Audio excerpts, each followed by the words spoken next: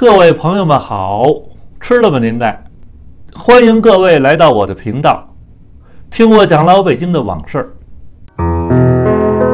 我有两个小学同学，一个男生，一个女生，他们俩住一个院儿，三间大北房，是女同学，东厢房三间，男生的同学住这儿。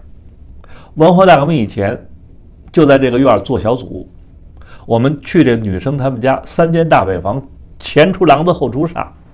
做完小组之后呢，我呢总是跟着这位男生同学呢，又到他家去。他家呢就是住在这个院儿的东房，跟他再玩一玩，然后我再回家。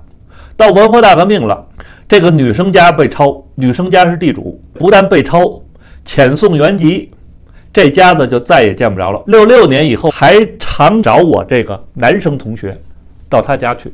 他的父亲呢是小学校长，母亲呢是小学教师，他父母呢也是进这个牛棚吧，反正是不回家了，就这一个同学在家。我呢经常找这同学去，可是这个院儿里边，这个三间大北房和这个三间西房，还有两边两个耳房，红卫兵总部就在这儿。我呢找我这同学去，悄悄的、偷偷摸摸的进我这同学家，进去之后赶紧插上门，弄一大帘子。把这个门、把这个窗都给它蒙上，漆黑一片也不开灯。我这同学呢，他们家有一个收音机，他们家那个收音机叫做四个灯的收音机，他们家那收音机和我们家那收音机是一模一样，叫做北京牌收音机。干嘛呀？打开收音机听短波，这短波声音滋啦哇啦、滋啦哇啦的声音，偶尔的就能听得到。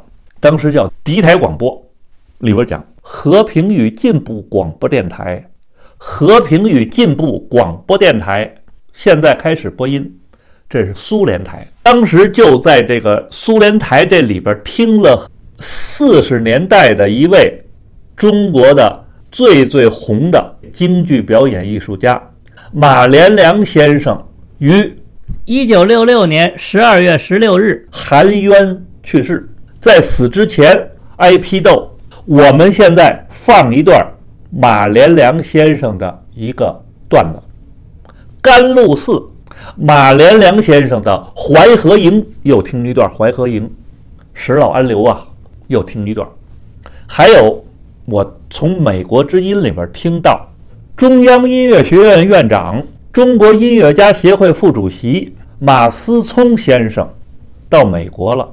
他是从广东啊偷渡到香港，从香港又周折又到了美国。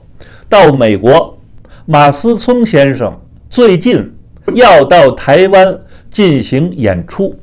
下边听一段马思聪的小提琴什么什么曲啊，这些个都是我在所谓地台听来的这些个消息。我在他家这儿就听到外边。哭的声音、嚎的声音、叫唤的声音，完了之后抽皮带的声音、抽这个耳光的声音。红卫兵总部就设在这个院儿，就设在我们同学、我们这女生他们这家。我们曾经在这做小组的那个三间大北房里边，红卫兵总部就在这儿。抓来的那些地富反怀又抓来的话，就审讯就打，就在这个院儿。有这么一天，我呢又是想到我的同学他们家。当我走到这个大门这儿。外边停一辆手推车，那时候叫牌子车。当我走到这个车的这儿，我还没有进去呢，从门里边可就出来一队人。这一队人一出来，我赶紧闪身，这几个人就从我身边过去了。这个时候，我再一看，两个人搭着这一个死人，这两个人就把这个死人放在车上了。车上是一个席子，一个破席子。车这边还有一个人，这个人呢，把这席子一撩，把这个人就顺过来，顺在这儿了。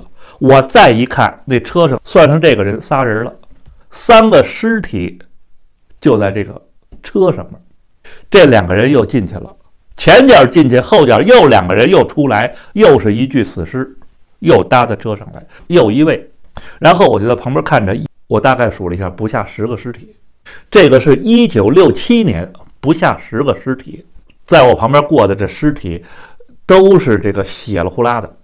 这时候三四个人，前面有驾辕的，后边有推车的，哎，就走了。您要不注意的，还真不知道里边是什么。这十位姓氏名谁呀？这十位是怎么回事啊？一概不知。是怎么死的呀？是屈死的呀？是不是罪有应得呀？是不是该死啊？一概不知。这一幕，哎呀，我印象太深了。